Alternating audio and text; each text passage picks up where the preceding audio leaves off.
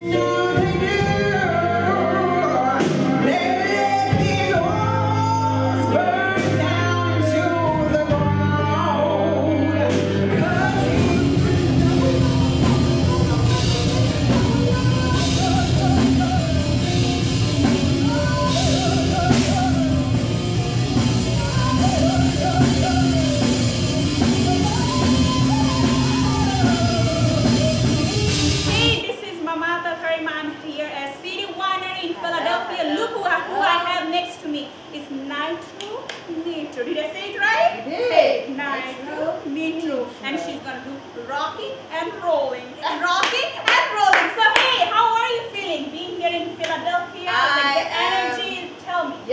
I am so excited to be here at the City Winery, making our show debut here in Philly. So I'm very excited.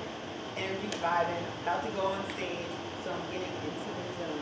Ah, tell me, tell me any song that you initially found very easy but challenging to either perform or sing. Any song that you have? Uh, song that I have. Mm-hmm. Originals.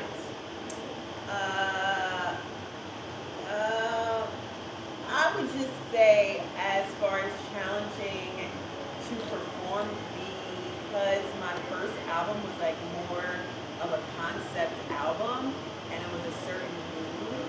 So like that album was like all about my transformation. So like more so at the concerts now, doing more of my soul rock stuff that I've been wanting to do since I was a child. So more challenging, I would say, is the deep seated um, songs that I put in the first album because they're more like dramatics. You know what I'm saying? But at the end of the day, it's like my song. But you know how you have a song and and in the studio you were just able to like catch like a certain mood. That was that first album. So tell me about your makeup. What is that under your eyes? All the time I see that. See, it's beautiful. I love it. Tell me. mermaid jewelry. Mermaid jewelry. Why is it? What's, what, what's the theme? Why is it there? All the time I see you, all performances, Yeah. you have beautiful art underneath there. I So, love it. What? so it's it's all about the creativity, and for me, it is about becoming whole with within myself, right? So with that being said, like always a side that like doesn't have much. It's just like you know, pretty simple, you know. But then there's this one side was like, oh, what is that? And then that would sum up me. You know what I'm Uh-huh. saying? Like there's that light, but there's also that like dark. So when you bring it into union, then you get this like magnificent, like mysterious. Like, do you know her? Or look at the other side. Maybe you do, but maybe maybe I don't. You know what I'm saying? It's just all wrapped up into one. I don't know. I love your energy. So what is something you want from your fan, from the audience that adds up the vibe, the energy that you want? Like someone saying nitro or hey, keep going one more time. what is something that you want I- from your fan? I just love when everybody in the audience is just like vibing to the music, wrapped up on the plane where I am. Because when I get on stage, like I'm just gonna transcend. I'm not even there, really. Like I'm just vibing. So when the audience vibes too, and they just feel the energy and their vibration lifts, then that's where it's at. So they say I love you.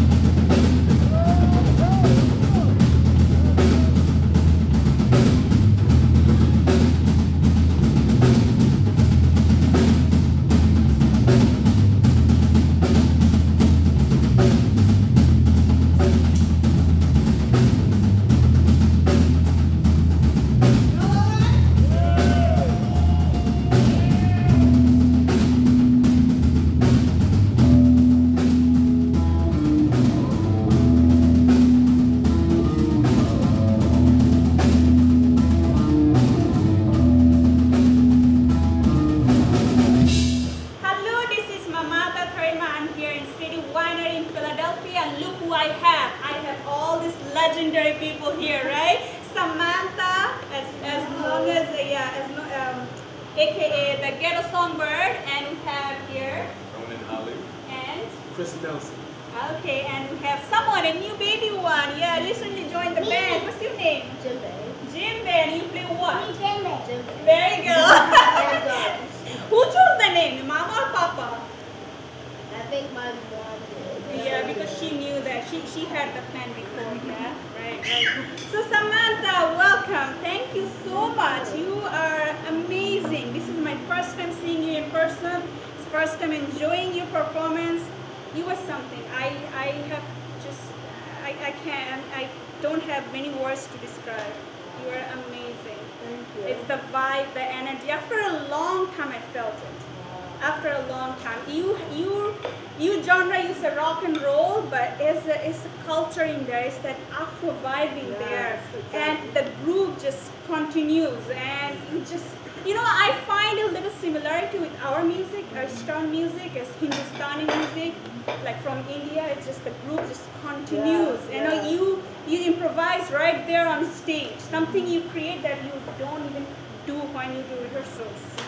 Wow. It's, it's, it's the fire I felt tonight. How are you feeling performing here in Philadelphia? And you are from Philadelphia. Yeah. How are you feeling coming back here and performing? It's your 20th anniversary. How are you feeling? Tell me. I am feeling excited. It's always a little nerve wracking because coming to your hometown, it's always a little tougher to get that support and respect. But once I get on that stage, I forget all the isms and just let loose in the music. Wow.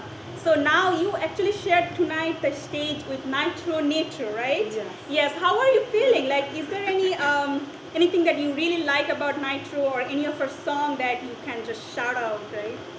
I love her energy. She has such a beautiful voice and so strong and powerful.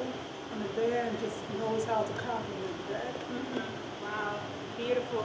Now, Mr. Ali, is it is it how you? Ronin Ali. Ronnie Yeah. Ali, yes. How do you feel being in the band with your, um, you know, uh, better half, with your partner? How do you feel? I'll get a break. I see. I saw that you were looking at her. You're kind of following her. You're, like, you're behind her. You're following her. You know, um, seeing where, where she's going, what chord she's playing, and all that. I, I see that communication in your band. That's the communication I see in your band. That you all are communicating with each other, having a smile on your face. It's amazing. Share me, share your experience and feelings.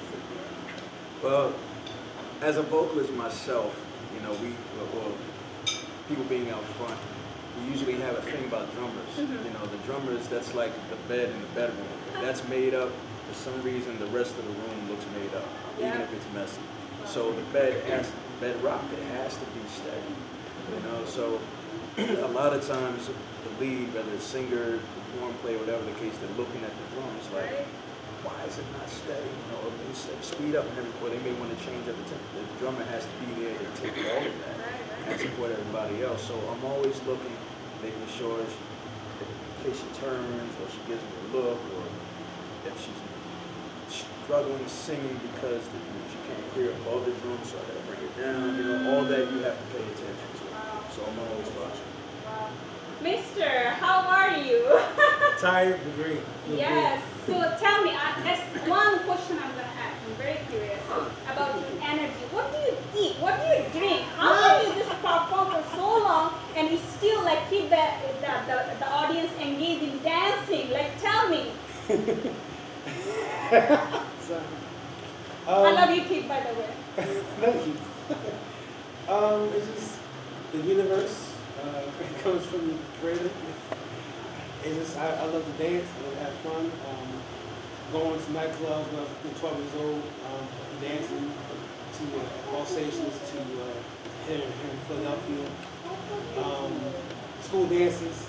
I mean, I used to dance in, in the living room. So yeah, that's that's basically what it is. Um, I love hip hop, I love R&B, I love soul, I love rock and roll, I love all kind of music that, that, that, that speaks to me and my spirit. So when, when music hits me, right there with the drums, I can't help but, but, but to go wild because that's that's the soul, that's, that's the energy. And you know, just with the horns, the drums, coolers, mm-hmm. You know, I just go wild because it's great music. So yeah, it's always been like that. Doing I- splits I- and stuff like that, splits on the dance floor. Yeah. I mean, from high school to, to now. Wow. Great. I'm in the green room, but I feel like I'm on the stage because I feel the energy, right? Okay, we have the the baby one here, or the, this one, right? Yes. How is your experience playing with your papa, your mom, and mom's best friend? It's a lot of hard work. Like, um, probably last week, I had to um, do rehearsal with them. And then um, my teacher sent me homework on that day. And I couldn't do it on that day, so I had to wake up early the next day to do it. It was so hard. It builds in the patience, right? And you are also rocking on the drums, right? Oh I- my I goodness. love I see future. Huh? Oh, it's beautiful. Samantha, last question. How do you feel? Like, really, it's a family. You know, it's. I think it's beautiful that you are not alone in the journey. Your husband is there, so I think balancing between family and the career is kind of maybe it's a blessing and curse, but I think it's unique because you have your husband there, now your kid there, maybe more kids will join. It's amazing, and I'm very happy to know someone like that. Really, I'm really. Thank you again so much. Thank you so much. Amazing, amazing. Thank you. Thank you. Thank you. Have a good night. Uh-huh. Make sure to subscribe. yes, yes, yes.